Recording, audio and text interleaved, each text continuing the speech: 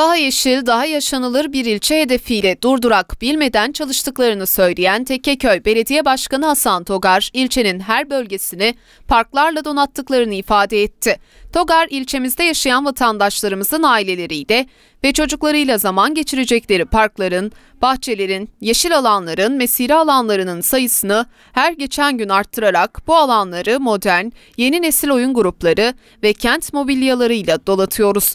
Rekor sürede yaptığımız parklarımız, tesislerimiz, spor alanlarımız, yeşil alanlarımız ve projelerimizle diğer alanlarda yaptığımız çalışmalarımız ilçemizdeki beklentileri tam manasıyla karşılıyor. Bunun en güzel örneğini hayata geçirmiş olduğumuz tüm sosyal alanların çocuklarımız ve vatandaşımız tarafından faal olarak kullanılması gösteriyor dedi. Yapılan tüm parklarda, yeşil alanlarda ve tesislerde engellilerin de unutulmadığını hatırlatan Togar, yeni yapılan tüm parklara engelli evlatlarımızın da kullanabileceği çocuk oyun grupları yerleştirdik. Parkların giriş ve çıkışlarının, kaldırımların ve yapılan tüm tesislerin, binaların engelli çocuklarımıza ve vatandaşlarımıza engel oluşturmayacak şekilde yapıldığını belirtmek isterim dedi.